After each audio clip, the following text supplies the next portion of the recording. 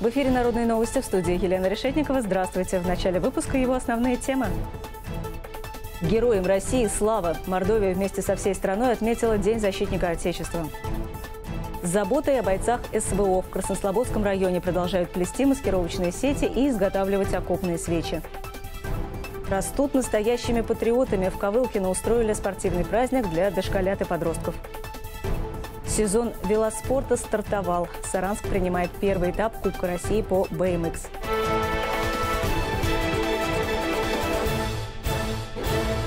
Праздник мужества, стойкости, беззаветной преданности Родине. 23 февраля – один из самых любимых россиянами праздников.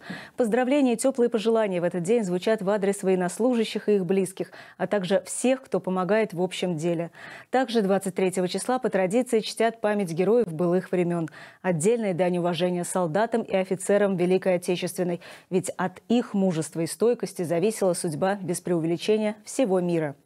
В преддверии праздничной даты у мемориала на площади Победы в Саранске состоялась торжественная церемония возложения цветов. Участие в ней принял глава Мордовии Артем Сдунов. С подробностями Михаил Мазанов и Владимир Ильин. День защитника Отечества – это дань глубокого уважения всем поколениям воинов, тем, кто служил и служит Отечеству, охраняет и оберегает честь и независимость нашей Родины. В преддверии праздника мужества и героизма на площади Победы Саранска прошла церемония возложения цветов к памятнику воинам, уроженцам Мордовии, погибшим в годы Великой Отечественной войны. Особенно значимо, что среди участников было много молодежи. Мы много говорим о патриотическом воспитании молодежи именно сегодня, и эти мероприятия способствуют этому. Наши молодые люди должны знать своих героев, знать об их подвиге. В церемонии принял участие глава Мордовии Артем Сдунов. Он возложил цветы и преклонил колено перед мемориалом погибших воинов, почтив их память. Также глубокое уважение мужественным защитникам Родины выразили представители Госсобрания, правительства республики, духовенства, члены патриотических движений и объединений Саранска. Совершенно особенными чувствами пришли в этот день на площадь участники и ветераны боевых действий. Вот эти праздники все, это история, и она из года в год передается, как говорится, из поколения в поколение. Они должны, должны это все знать. За годы Великой Отечественной войны из Мордовии на фронт было призвано более 240 тысяч человек. Почти 100 тысяч бойцов за доблесть и мужество были награждены орденами и медалями. 130 тысяч воинов так и не вернулось домой. Память о них живет и будет жить вечно. Михаил Мазанов, Владимир Ильин. Народные новости. Также в преддверии 23 февраля в Мордовии состоялось торжественное собрание, посвященное Дню защитника Отечества. Героями дня стали те, кто по-настоящему достоин уважения и восхищения. Глава республики Артем Сдунов вручил высокие награды отличившимся в ратном деле, участникам и ветеранам спецоперации, а также тем, кто выполняет важные задачи в родном регионе. О героях дня Юлия Исайкина и Александр Овчинников.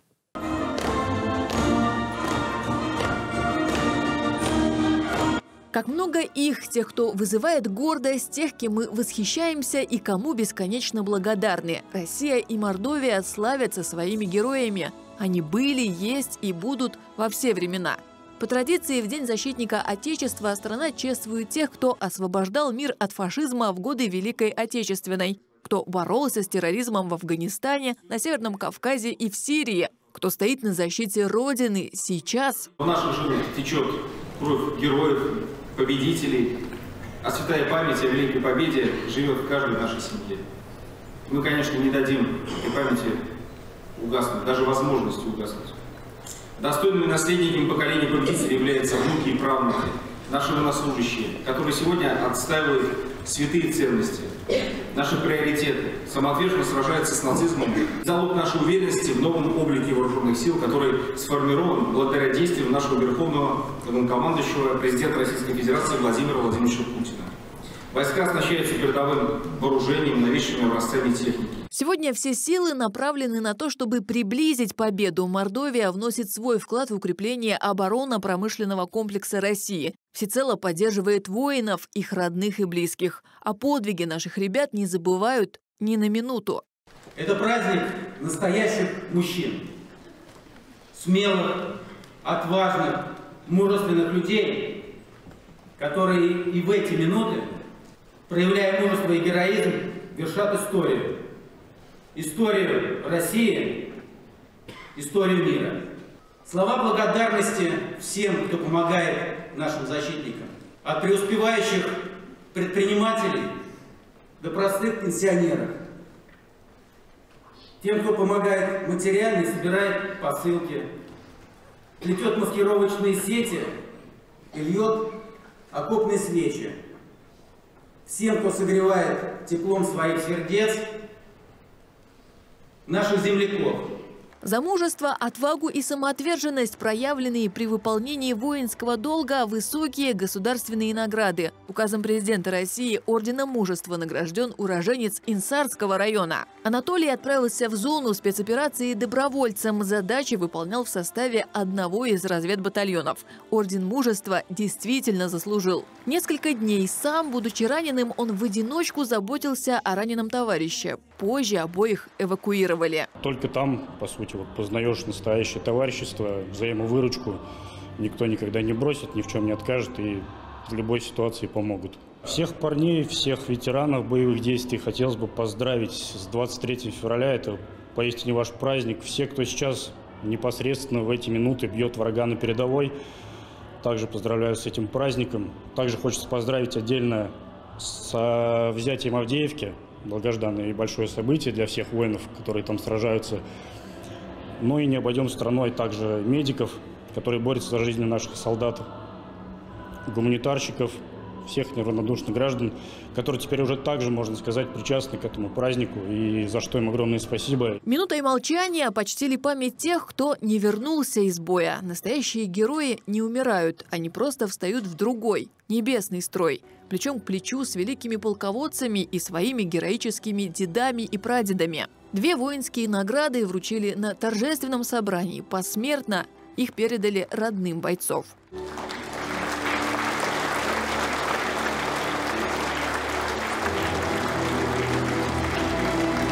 Также высокими наградами отметили ветеранов вооруженных сил, действующих правоохранителей, спасателей, сотрудников предприятий оборонного комплекса и военных комиссариатов.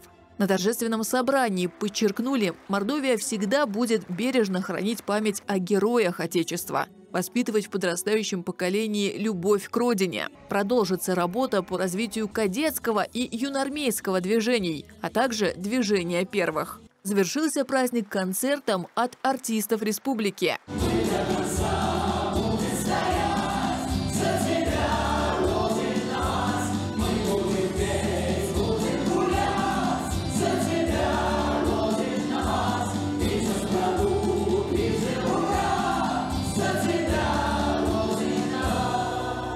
Юлия Исайкина, Александр Овчинников. Народные новости.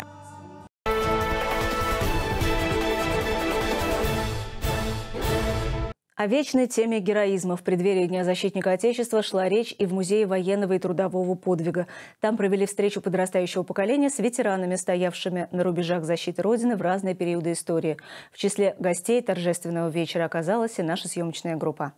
Студенты, школьники, представители УФСИН и главные гости вечера – ветераны боевых действий. В преддверии большого праздника в стенах музея встретились сразу несколько поколений защитников Отечества, настоящих и будущих. К подготовке. Организаторы подошли творчески, чтобы подрастающее поколение могло не только ознакомиться с информацией, но и сохранить в своей памяти и на душе то, что хотели донести до них спикеры вечера. Солдат России, воин – это вот профессия, эта профессия, она достойна уважения во все времена. Сколько бы ни было войн на нашей земле, э, на землях России, всегда вставали э, защитники. Это мужчины, это женщины, от мала до велика защищали свое отечество, свою Русь, свою землю, свою семью. История праздника, просмотр фильма, музыкальные номера, но самое главное – беседы с ветеранами. В разные годы с оружием в руках, защищавших интересы Родины. Из первых уст узнать о непростых буднях бойцов дорогого стоит. Добровольцем в зону проведения СВО Юрий Полобичев отправлялся дважды. Накопленным жизненным опытом и неиссякаемой любовью к отчизне защитник поделился с гостями вечером. Был Донецк, Луганск, Сватово, Запорожье, 10 месяцев находился, выполнял боевые задачи. Я думаю, что надо рассказывать о патриотизме, о стремлении совершенствоваться, стремлении к защите Родины, любовь Родины. Без любви к Родине мы никто, мы ничто. 23 февраля стало праздничной датой больше сотни лет назад. Этот символ уважения к истории страны и ее героям останется таковым навсегда, точно так же, как остались вписаны в историю подвиги разных поколений наших соотечественников. Дарья Баронина, Станислав Семин, Народные новости. От всей души, с любовью и гордостью. 20 февраля в Саранске подвели итоги регионального детского конкурса рисунков «Нарисуй защитника Отечества». Юлия Сайкина и Владимир Надькин готовы рассказать об авторах работ, которые признаны лучшими. В преддверии праздника настоящих мужчин, патриотов Родины, в филиале фонда «Защитники Отечества» провели региональный конкурс детских рисунков. Юным художникам со всей Мордовии предложили нарисовать тех, кем они гордятся – и кого считают героями. Практически все школы республики приняли участие. А, у нас откликнулось более двух тысяч ребят, которые нарисовали своих отцов, братьев или просто героев, таких как Давид Малыкин, герой России, Главная цель конкурса, конечно же, патриотическое воспитание молодого поколения, а еще сохранение памяти о подвигах наших военнослужащих. Жюри определили победителей и призеров в трех возрастных категориях. Возраст самых юных талантов – от трех до семи лет. Пойдем, пойдем сфотографируемся. Вставай. Победительницей в самой старшей возрастной группе признали Веру, студентку Тарбеевского колледжа мясной и молочной промышленности. Свою работу она посвятила отчиму. Вместе с товарищами он выполняет одну боевую задачу за другой в рамках спецоперации. Сейчас защитник приехал в заслуженный отпуск. Воин поблагодарил ребят за творчество, в котором так много тепла, заботы и поддержки. Нам тоже приходят рисунки. Конечно, помогает это все. Так что благодаря вам Победа будет за нами. А вот ученица 43-го лицея Саранска Ксения Сабурова посвятила свой рисунок человеку, которого никогда не знала лично, но которого, безусловно, считает настоящим защитником Отечества – полковнику Виктору Исайкину. Я видела статью про его подвиги, а, и меня очень заинтересовала эта личность. Считаю то, что а, надо помнить про а, подвиги наших соотечественников. Кроме основных призеров, отметили работу, завоевавшую приз зрительских симпатий. Ее нарисовала первоклассница Юля Пелагейкина из Атяшевского района. Кстати, скоро все рисунки, которые были представлены на конкурс, отправят вместе с гуманитарной помощью в зону проведения СВО. Как добрый привет с малой родины и как поздравление с 23 февраля. Юлия Исайкина, Владимир Надькин. Народные новости. Накануне Дня защитника Отечества волонтеры трудились, не покладая рук. Формировали грузы, стремились порадовать наших ребят, а также согреть и укрыть от вражеских глаз. С заботой об участниках специальной военной операции плетут маскировочные сети и заливают окопные свечи и в Краснослободске. Подробнее о непростом и очень важном труде расскажут Валерия Новикова и Дмитрий Малахов. В Краснослободском многопрофильном лицее инициативу оказывать помощь нашим бойцам поддержали сразу. Порыв объединил не только педагогов и родителей, но и учеников. Дело нашлось каждому. Одни аккуратно плетут маскировочные сети, другие стараются, чтобы вдали от дома боевые будни наших ребят стали хотя бы чуть-чуть светлее и теплее. Свечи, конечно, научились делать сами наши педагоги. А, мастер-классы сейчас можно научиться поделиться опытом, да, и через интернет-источники. А вот э, изготавливать устанавливать сети мы начали по инициативе э, бывшего педагога аграрного техникума, э, представитель казачества Ягодкин Виктор Алексеевич. И вот э, получали мы мастер-класс как раз-таки в Саранске. К задачам ребята подходят ответственно, помогают друг другу. За неделю все вместе сплетают одну маскировочную сеть. Узелок за узелком, лента за лентой. Именно так формируется большое полотно. Принцип работы простой, движение аккуратное и отточены до мелочей. Мы сначала оплетаем то есть ее по бокам и начинаем плести снизу вверх. Плетем по ячейкам на одну сторону, мы плетем одну полоску. Мы на переменах, когда у нас стоит сеть, мы с девочками и даже мальчики плетем сеть. Изготовление свечей – дело ответственное. Чтобы они не коптили и долго горели, нужно быть внимательным. На помощь приходят учителя, но и сами ребята знают, как и что делать. Вот мы берем банку. Эм, вот у нас есть картон. Вот. Вот ножницы. Мы как бы режем этот картон. И у нас получается вот такие вот штуки. Эти штуки мы вставляем вот друг друга. Ну, можно сделать третью. Ну, как-то вот так вот, чтобы это все выглядело. И потом вставляем фитиль, и получается вот это. Процесс работы идет непрерывно. Каждый из ребят и взрослых старается передать нашим бойцам, находящимся в зоне СВО, максимум заботы и душевного тепла. Валерия Новикова, Дмитрий Малахов. Народные новости. Краснослободский район. В добрый путь 23 февраля из Саранска в Сочи отправилась масштабная делегация. Волонтеры Всемирного фестиваля молодежи, для которого остались буквально считанные дни, в день своего отъезда устроили на железнодорожном вокзале небольшое шоу. Как это было, расскажем и покажем в сюжете. До Всемирного фестиваля молодежи в Сочи еще неделя, а из Мордовии уже выехала представительная делегация – эти люди не просто станут частью глобального международного события, они помогут провести фестиваль на высшем уровне. У волонтеров особая миссия. Они должны достойно представить нашу страну и сделать так, чтобы зарубежные друзья захотели вернуться сюда снова. Волонтеры уезжают в символичный праздник, в День защитника Отечества.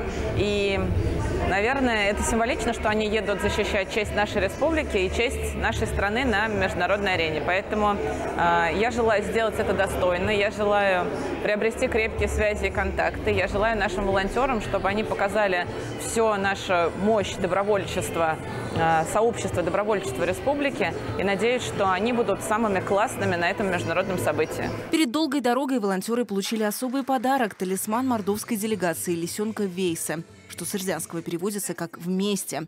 Перед тем, как отправиться в Сочи, все волонтеры прошли обучение. Ну, я поняла, что нужно себя проявить, нужно показать, э, чтобы точно тебя заметили и отобрали. Поэтому я старалась сделать все возможное, чтобы показать, ну, выделиться и показать все свои навыки и умения. Так как мы находимся все в одном инфополе, то о Всемирном фестивале молодежи и возможности стать волонтером я узнала сразу же, потому что все новостные ленты были заполнены этим прекрасным событием. Подала заявку, прошла все этапы отбора. И вот сегодня, 23 февраля, мы уже э, скоро выезжаем. Влиться в команду фестиваля ребятам предстоит уже на месте. Там их распределят по направлениям, расскажут о задачах и научат их решать. Напомню, Всемирный фестиваль молодежи на федеральной территории Сириус будет проходить с 29 февраля по 7 марта. Проведение такого события поистине планетарного масштаба – инициатива президента России Владимира Путина. Ирина Семенова, Народные новости.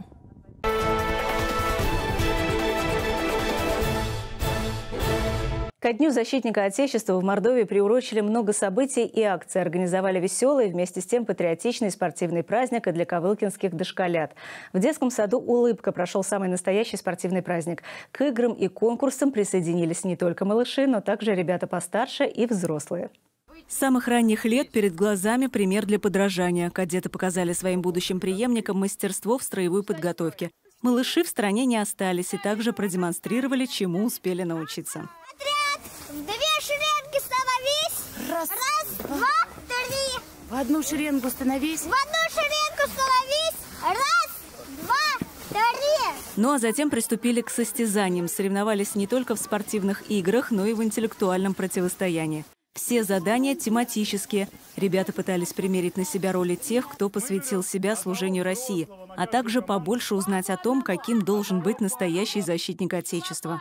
А родители и педагоги поддерживали своих малышей. Ну а в конце пели песни у искусственного костра.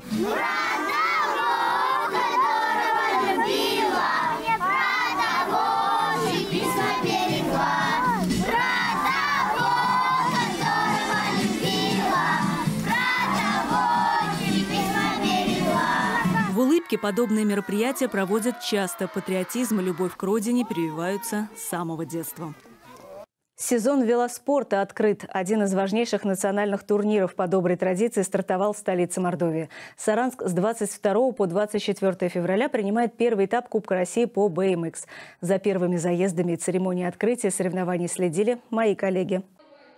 Саранск – столица велосипедного спорта. Кубок России по BMX не случайно. Каждый год стартует именно здесь. В Мордовском центре велоспорта уникальный крытый трек, который даже зимой дает возможность проводить большие и важные соревнования на высоком уровне. В этом году здесь стартует уже юбилейный 15-й сезон Кубка.